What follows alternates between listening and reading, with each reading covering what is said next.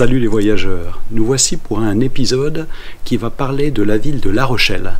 Je ne sais pas si tu connais La Rochelle, mais j'espère que les quelques images qui vont suivre vont vraiment te donner envie de le découvrir ou de le redécouvrir. Alors c'est une vidéo avec un format particulier pour la visite des villes, pour lesquelles j'interviendrai très peu pendant la vidéo, mais une fois maintenant avant et une fois à la fin pour la conclusion. A tout à l'heure. Ah, au fait, et c'est rare que je le fasse à ce stade de la vidéo. Si tu n'es pas abonné et que tu apprécies de regarder les vidéos de cette chaîne, mais surtout abonne-toi, n'hésite pas. À tout à l'heure.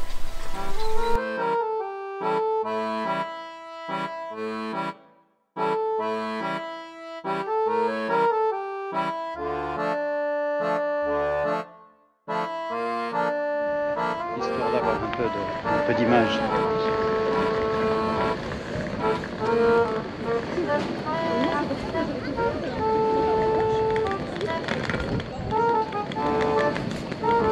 Alors où ils sont les flics pour coller des 130 euros aux gens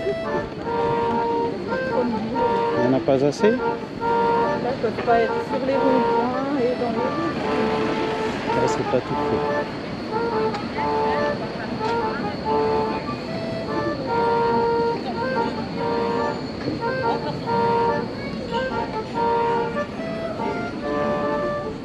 Ah, c'est un marché à la brocante.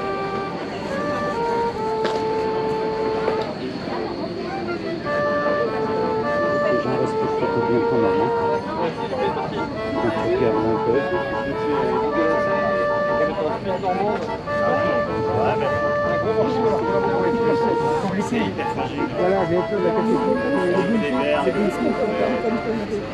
C'est quoi Suisse. Ah, mais c'est très connu ici. Ah bon Oui. Et je pense que, je suppose, c'est à cause des paysages de, de collines verdoyantes et. Ah. Si, si, alors c'est très très connu.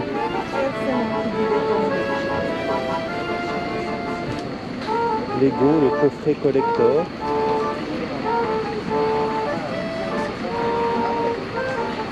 Ça, ça rappelle de ces jeux qu'on avait, tu sais, au début avec les billes.